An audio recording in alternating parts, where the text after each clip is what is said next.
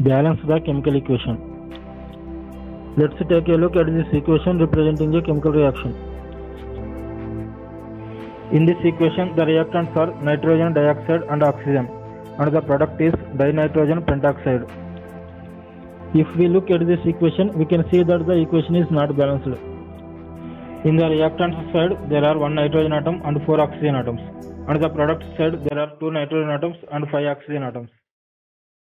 The number of atoms is not balanced on both sides. To balance the chemical equation, we need to make use of coefficients. A coefficient is a number that we place in front of a chemical formula. In this equation, we need to balance the nitrogen atoms first. To do this, we need to put a coefficient of 2 in front of NO2.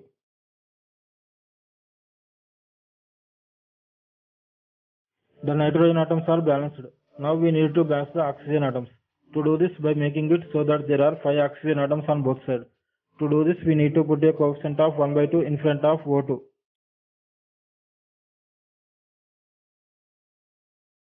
The oxygen atoms are balanced. Now you can multiply the equation by a coefficient of 2 on both sides.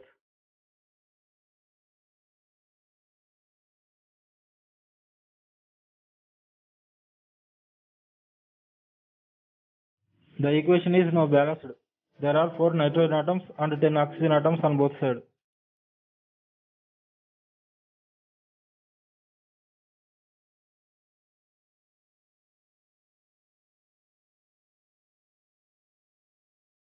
If you like this video, please subscribe my channel and press on the bell icon.